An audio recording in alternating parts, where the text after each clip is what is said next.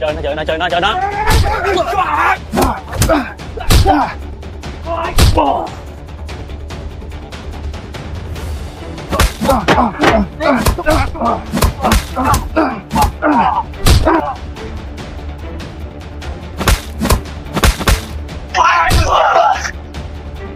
ê. Gì mà ông sợ? Thằng này nó phá chuyện làm ăn của tụi em hồi chiều thằng nào mà láo quá vậy?